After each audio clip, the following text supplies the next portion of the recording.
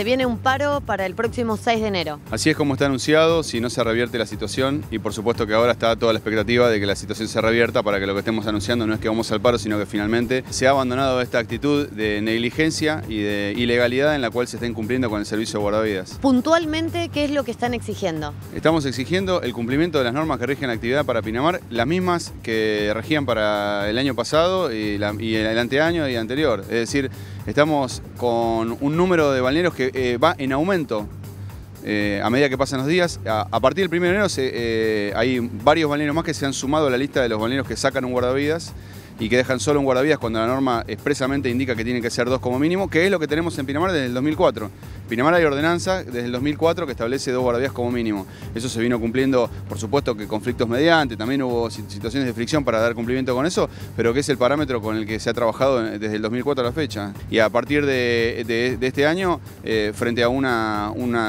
eh, estado de de, abandono por parte de la municipalidad, de hacer cumplir con, las exigencias que están por contrato y que están por ley. Yo lo que te puedo decir es que hoy hay 20 balnearios que no tienen el servicio de guardavidas que corresponde por ley, además de que está cerca del 80% de los puestos de guardavidas sin los elementos básicos, mínimos y obligatorios de rescate, que es algo realmente es muy berreta eh, tener que estar anunciando este tipo de cosas. Eh, parecen absurdo, pero una vez más los, puestos de guardavidas están, están dejados eh, a la deriva y parece no importarle a nadie que hoy hay 20 balnearios que no tienen servicio de guardavidas. Está todo el mundo preocupado porque el 6 pudiera llegar a haber un paro total de actividades y que no hubiera guardavidas. Pues eh, eso es la última de, las cosas que quisiéramos hacer, pero es la, alternativa que nos queda para, para poner en la superficie un problema que hoy Hoy, que es 4 de enero, tenemos 20 balnearios y que es muy fácil de constatar lo que estamos diciendo. Si lo que estamos diciendo no es así, es tan fácil de constatar, pero justamente la municipalidad lo ha constatado, constatado que tenemos razón. E incluso ha habido reuniones con el intendente. En la última medida de fuerza, ustedes todavía no se habían reunido con Martín Yesa. ¿Qué pasó? Nosotros no nos habíamos reunido desde que había comenzado el conflicto. Habíamos tenido varias reuniones por este tema y está perfectamente al tanto esta situación. Pero como vos bien decís, tuvimos una huelga el 17 de diciembre. Ese mismo día tuvimos una audiencia ante el Ministerio de Trabajo. Estuvimos reunidos con, parte del gabinete del Ejecutivo. De ahí salió una reunión que la mantuvimos inmediatamente el día lunes 21. Tuvimos una reunión en, el Salón Bonilla con el intendente y todo su gabinete, en donde lo primero que dijo es, bueno, esta situación no da para más, eh, necesito dos días para poder solucionarlo porque eh, llamaré a los concesionarios para que empiecen a cumplir. El plazo se lo incluso se lo, autoimpuso el intendente de, dos días. Esto fue el 21 de diciembre. ¿Y a hoy nada?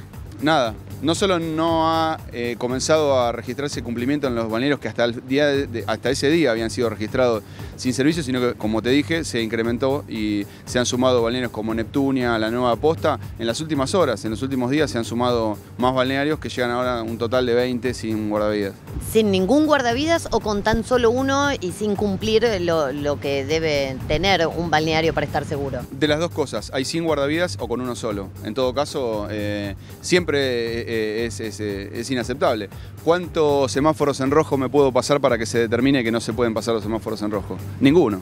¿Qué pasó con el nuevo jefe de seguridad en playas? He sabido que ustedes no tenían buena relación con Javier Pavón, que fue el jefe anterior. ¿Qué pasa con Sebrain? Esta situación no está en términos de buenas o malas relaciones. Existen obligaciones para cumplir los trabajadores. Pero no las cumple. Los, trabajadores tienen las obligaciones y en el caso del, de quien fuera coordinador de, la gestión anterior, Javier Pavón, bueno, eh, los hechos hablan por sí mismos de la cantidad de irregularidades que se habían cometido. En este caso, justamente era muy auspicioso y lo sigue siendo la intención que ha tenido, por lo menos con el nombramiento de, la gente de seguridad en playa, el intendente Yesa ha nombrado a Germán Sebrain, quien ha venido eh, o intentado eh, desempeñar sus funciones de, una manera profesional, que casi que lo único que ha funcionado es la municipalidad. Es decir, ha constatado todos los incumplimientos eh, a que hacemos referencia. ¿Pero no le da respuesta, por ejemplo, en los elementos que debe tener cada la vida guardavida? nosotros ignoramos si es una cuestión inherente a seguridad en playa o, inherente a personas por encima de en la toma de decisiones. Lo cierto es que eh, la municipalidad tiene huecos en la playa, de playas que eh, tiempos atrás estaba cubriendo y que ahora le faltan guardavías municipales, faltan elementos de trabajo Eh, ni que hablar, tenido ninguna noticia de la actualización de salario, ni otras cuestiones que también eh, forman parte de la vida de los trabajadores y que a la corta o a la larga incluso van a, van, a, van a empezar a subir en la lista de los reclamos. ¿Qué elementos les están faltando? Las roscas, las sogas en algunos casos, o las aletas o los prismáticos, o todo eso junto se hizo un relevamiento y se detectó que hay un enorme porcentaje de los puestos que no tienen los elementos. ¿Y comunicación? No, las comunicaciones en este momento las provee el gremio, para que tengas una idea. La flota de Nextel que, con la que estamos operando, que es limitada, porque tenemos un número limitado de, de, unidades las está proveyendo el gremio. ¿Y quién paga la boleta de estos teléfonos? No sé, en, este, en este caso eh, eh, nadie, ¿no? pero los, los, Nextel los está, los está proveyendo la, Asociación de Guardia de Pinamar. En principio, si no llegan a ningún arreglo, el paro sería el 6, ¿de qué hora a qué hora? Sí, si no se soluciona la situación, el 6 va a haber paro, ese mismo día va a haber una asamblea y ahí se decidirá cómo siguen las medidas, que por supuesto